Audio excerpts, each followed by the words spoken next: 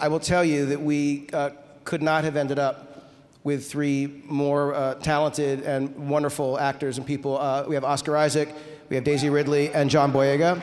Um, What, what can you tell us about the characters they play? Rey, Uh, Finn, well, I, I'll Poe tell you. Um, bef- I think rather than me tell anything about them, I think they should. We should, we should, we should bring them out.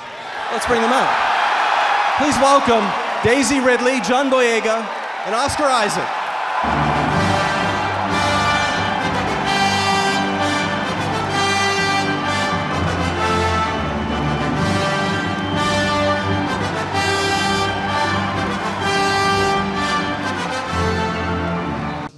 Discover Rey in this movie, Daisy? Hey y'all, again. Um, we discover Rey on the desert planet Jakku. Um, she is a scavenger in like a ship graveyard, and she is like completely self-sufficient. She does everything for herself and very solitary until she meets another character and an adventure begins. Finn is the first character we see in, this, in The Force Awakens. He was the first face that appeared in that teaser trailer last November. You're. John. He's in a he's in a stormtrooper uniform, but people are wondering: is he in disguise? Is he an actual stormtrooper? So tell us, how do we meet Finn in this movie? Well, first of all, Star Wars Celebration. What's up? What? Insane. So had to do that.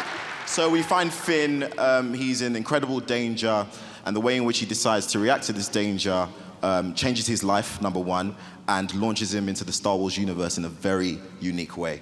Uh, so I can't wait for you guys to see it. Oscar Isaac. What's up, everybody? The only character on stage who has two names, Poe Dameron. We see him piloting an X-wing fighter. We saw you in the uniform there. So tell us about. Tell us about playing this guy. Who is he? He's the best frickin' pilot in the galaxy. That's who he is. He's been sent on a mission by a certain princess. And uh, he ends up coming across Mr. John Boyega's character, and their fates are forever intertwined.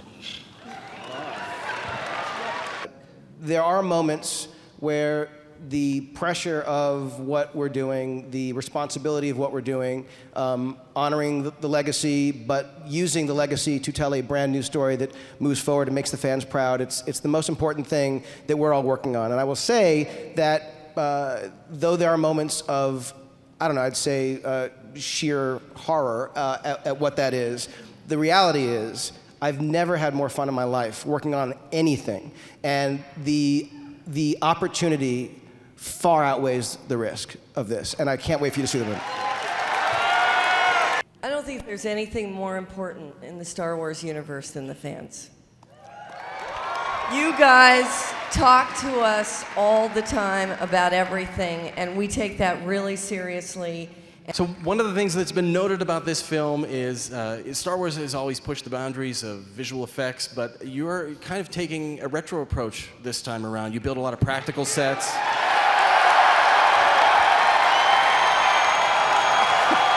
Wow. I, I hear people like that. We needed a standard. And we needed to set a standard that was real, that felt like, you know, you knew the people were in those places. The way the light interacts with the set, you want, to, you want it to be legitimate. You want it to be authentic. And so building as much as we possibly could uh, was really the mandate. Who is more excited, the newcomers like yourselves or the veteran actors from the original trilogy? Um, the original actors were coming back to a universe they absolutely loved, and we were joining a universe we were yet to love as much as we do now. So we were all excited, and then coming here today has made it so much more exciting. Like all of us are so cannot wait to show you guys what we've done. But there are some other folks who are here, people you know, people you love. We're going to bring them out too. So please welcome, you know him as C3PO, Anthony Daniels.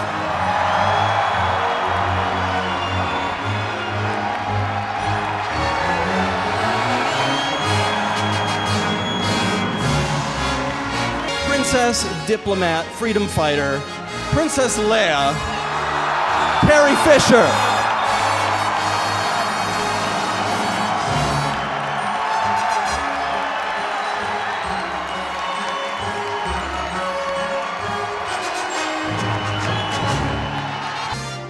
Chewbacca himself, Peter Mayhew.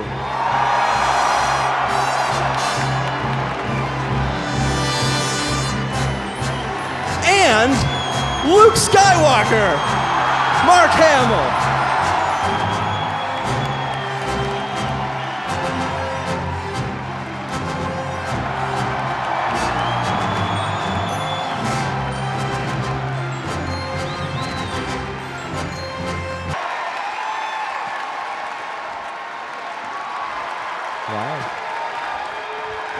I've got to say thank you for your, your kindness, your support, your affection for the whole project, and especially, in my case, for a character that I am very, very fond of. It's kind of nice to get back into fursuit because I can go anywhere in the world and still be comfortable.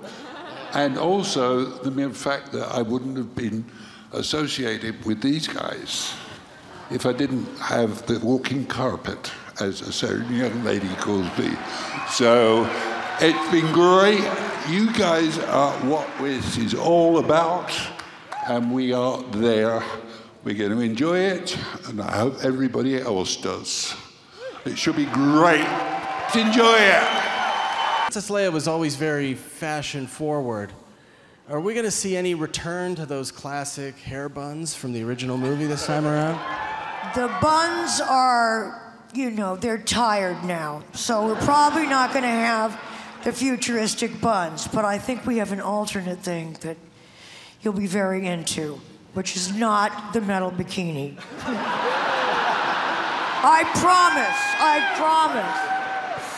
Just have a simple message, not just to all of you in this room, but to people watching us around the globe. And that's a simple thank you, because if it weren't for the UPFs, ultra passionate fans, we wouldn't be here. And it never ceases to amaze me. And I'm so grateful for your support, your enthusiasm, and yes, your passion. Because over the years, all, my entire adult life, I felt such love from you. And uh, you're more than just fans, you're family.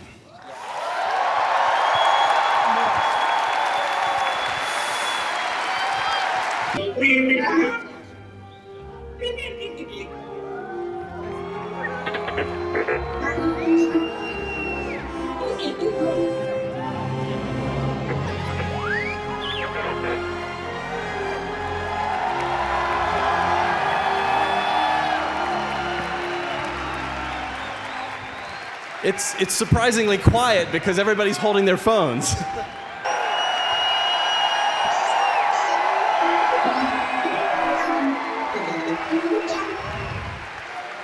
So these guys have to say goodbye now. Thank you guys, everyone, so much for coming out.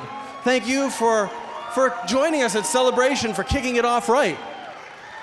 So, uh, honestly, uh, and I know that we've said thank you a lot to you guys, but I just need to say it one more time uh, on behalf of, of, Kathy and myself and to everyone who's watching uh, who's not here. We cannot thank you enough. Uh, the, uh, the energy that you guys are throwing our way is evidence of the force, and we couldn't be more grateful.